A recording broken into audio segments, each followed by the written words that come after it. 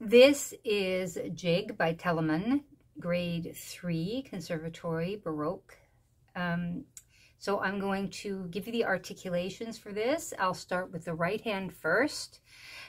Be super careful to absolutely get the perfect fingering and every articulation because this is the style of the period. So the right hand in section 1 goes like this.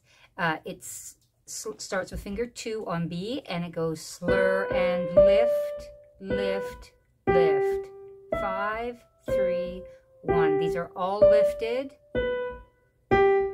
Hold for three. Keep holding and slur to lift, slur, lift, lift, slur, lift, lift, hold.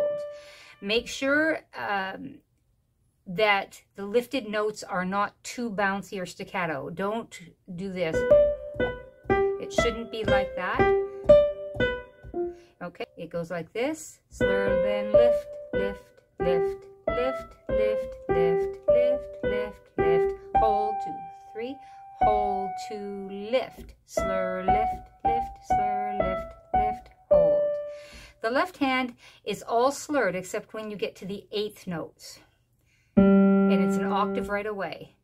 Beat number six, one, two, three, all smooth and all smooth. Jump, lift, lift, lift. That's one, two, four.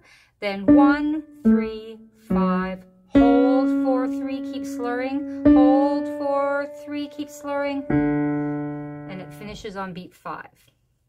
Again.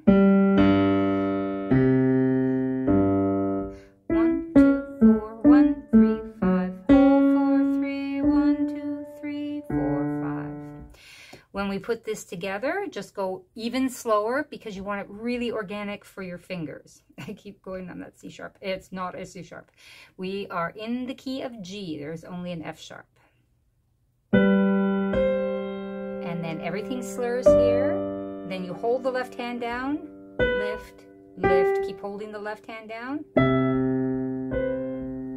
Keep holding the left hand down both. Keep, hold the right hand down. Slur, lift, lift. Keep holding the left hand. Slur, lift, lift. Everything in the left hand stays smooth. Okay, so I'll do it a tiny bit faster so you can see the whole thing at once and hear the sound it makes with all the lifts and the articulations.